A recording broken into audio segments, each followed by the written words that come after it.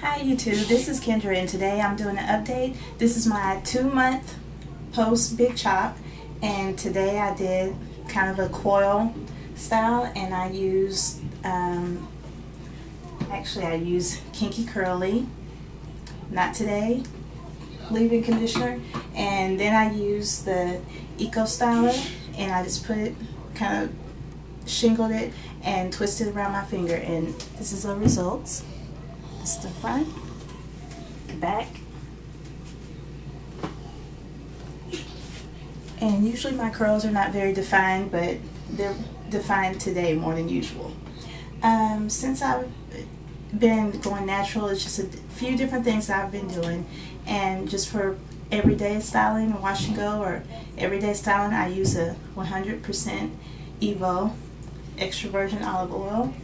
Um, I use my my mix that I made of glycerin oil and water, half and half, and I spray that on there. And then I also use a direct leave-in weightless moisturizer, and this is Giovanni. And that's pretty much what I use just for everyday styling.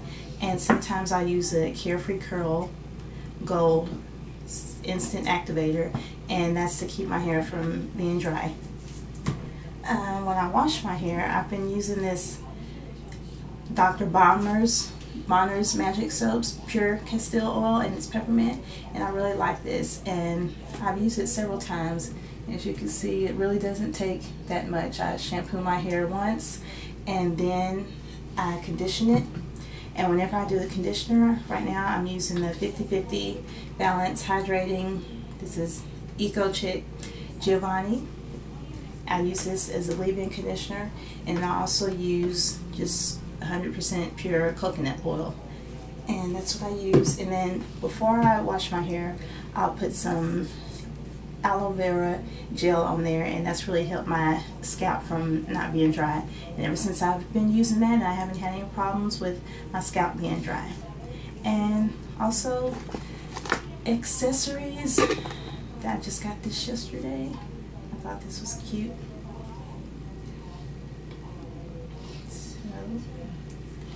and also use headbands. I like to use this type of headband.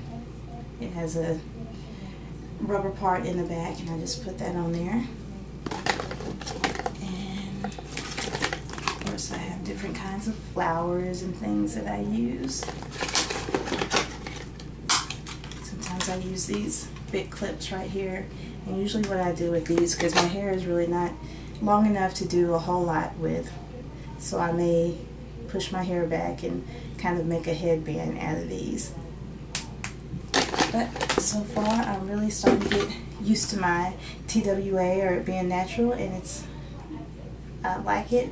And next I'm thinking about um, trying henna. I want a different color because my hair is kind of it's not black, it's kind of brownish. But just to give it a little bit more shine, I think I'll try henna. I really don't want to do the permanent color so it doesn't damage my hair. But um, if you have any questions, just please leave a comment. Um, feel free to rate or subscribe. Thank you. Bye-bye.